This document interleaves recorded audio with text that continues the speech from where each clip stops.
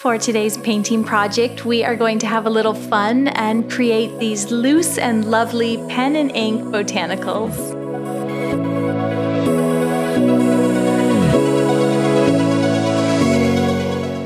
Hi guys, welcome back. My name is Shayda Campbell and on this channel I create art tutorials for beginners with a focus on watercolor and drawing. And today's tutorial is a watercolor one. It's perfect for the absolute beginner. And for those of you that have been here since the beginning, you will recognize this. This is classic Shayda painting style. We are going to do some botanicals um, and there'll be a watercolor and pen. So sort of a mixed media doing the pen either before or after you paint is a great way to one, add detail when you're not quite comfortable doing it with a paintbrush, and two, save a bad um, painting, frankly, and three, create something that's really unique and beautiful. So um, let's get started and make sure you watch until the end of today's tutorial because I have a little giveaway just to say thanks for being here. Yeah, and thanks for getting creative with me every week. So today I am starting out with a couple pieces of Canson cold pressed watercolor paper I've ripped them down to size using a ruler. You can do the same. And then you'll want a couple of artist pens, something that is waterproof like a Pigma Micron, and I've got two of those. So we are going to start just simply by drawing some botanicals. You want to work right in the middle of the, your little piece of paper or as close to the middle as you can manage. This particular project is not at all specific to the types of leaves that you draw. You could do anything that your imagination can conjure up. Um, but if you want to follow along, the one that I'm drawing is really just made up of these sort of scraggly leaves and these tiny little berries. So I just keep moving out and doing more stems and more branches and adding um, all these leaves. And you can see here, I'll put some of them on a bit of a stem. And then I add these tiny little berries. So it's just made up of the two forms really.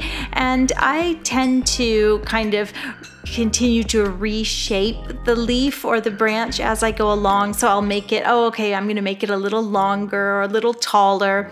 And as I move down the page towards myself, I tend to flush it out more. So I'll allow these branches that are coming off the main stem, I'll allow them to go out a little further towards the edges of the page. So that way I get a nice full uh, leaf design. So we'll set that one aside for now. And the next one that I'm going to do is a seeded eucalyptus. This is one that I go back to again and again. Start with just a little line and at the top of that branch or stem, you're going to do these tiny seeds and then a couple of small leaves.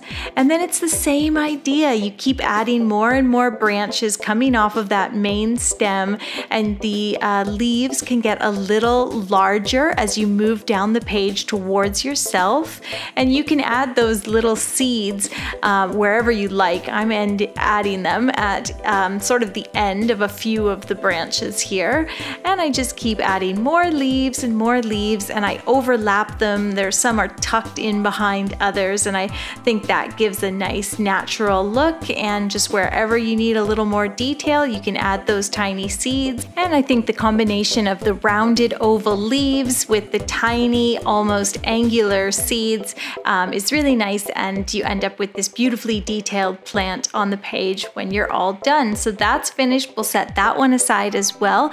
And we are going to draw one more together. Now this one is probably the simplest. It is just starts with this long line down the center for the stem. And then again, I'm just coming down the page towards me, adding these long, thin oval leaves. They're all a little different. They're very perfectly imperfect. And I put a line down the center of each or the not so center of each. And I just keep adding more and more, adding little branches, um, making it slightly fuller at the bottom of the page, um, but super simple. As I said, it's not about um, these particular designs. You could draw anything.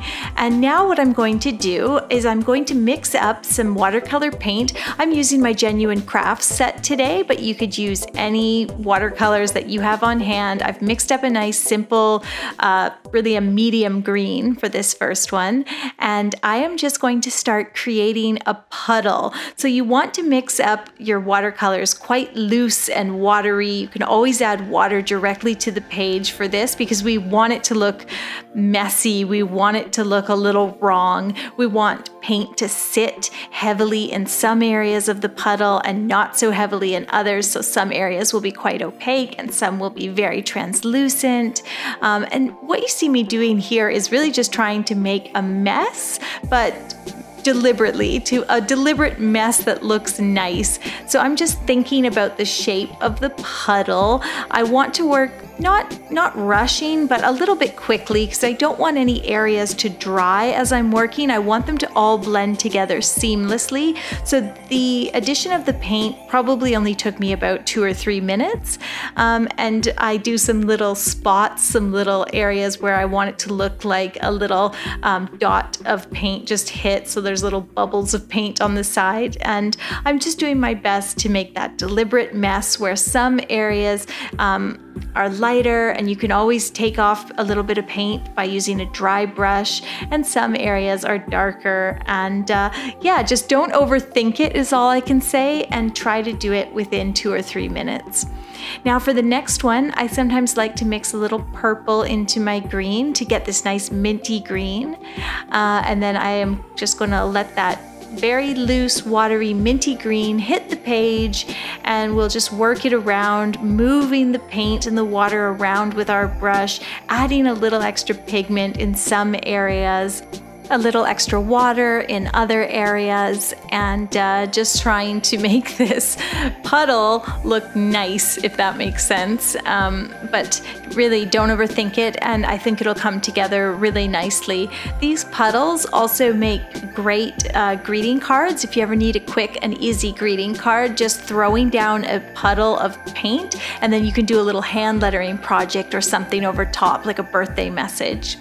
For the last one, I just mixed up yet another shade of green and this one I'm following the drawing a little more closely. You can see I'm kind of moving with the leaves and uh, the stem and not going for as much of a puddle, but still quite a messy, um, messy bit of watercolor. And actually, as I finished this one, I decided to um, sort of move that color out a little bit and I kind of made the top area a little more puddle-like. So the bottom's a little tighter to the drawing and then at the top here, the watercolor sort of blooms out into this messy puddle and I like how that looks. So just playing, experimenting. Um, and yeah, we are going to let those dry and we're going to try something else. This is one more way that you can approach this project. What I'm doing here is trying my best to do a nice leaf design and uh, this is basically how I came up with this technique was that when I started painting, I was never really satisfied with the um, florals that I saw on the page. They didn't turn out the way I had envisioned in my mind, and I was always a little disappointed. I couldn't get the detail that I wanted to, and I couldn't get the shading right. So when that would happen with my watercolor paintings, I would just wait for them to dry, and then I would add the painting, or not the painting, then I would add the pen on top. So for me, it was a real way to save my paintings and to enjoy watercolors before I was really um, proficient at them. So anytime I was like, oh, that just doesn't look the way I want it to, I would just add my Pigma Micron over top and I still love the way that looks. So once I'm done that one, I'm going to let it dry and now it is dry through the magic of YouTube. And so um, yes, so this one I think it looks fine, but I don't know, that black line that we get with a Sharpie or a Pigma Micron, it really just makes the whole illustration or the whole painting pop. It adds, uh, it sort of brings it to life is what I always say. It's just this crisp black line. It adds a wonderful illustrative quality to your paintings. Um, and like I said, you can add that detail that you might not otherwise be comfortable doing with a paintbrush. Um, so all I've done there is just followed the painting, gone over the leaves, added some veining, and then I always like to add a few extras, and I think that gives just a fun look um, to the overall piece. So there's a couple extra ones there and a little bit of extra veining. And then these ones have dried now, and I find the paint always looks a little different dry than it does wet, especially these puddles. Um, so they're really fun to look at when they are dry and to sort of see that deliberate mess, to see how it came out.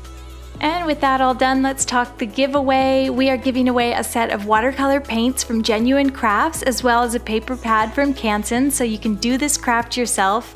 And all you have to do to enter is leave a comment below letting me know what is your favorite art supply. And uh, I think we've asked that one before, but that's okay. We're collecting data, just kidding. Um, yes, favorite art supply, and then make sure to subscribe and turn those notifications on. Thanks so much for entering, guys. Contest closes August 6th, and I will see you soon with a new tutorial.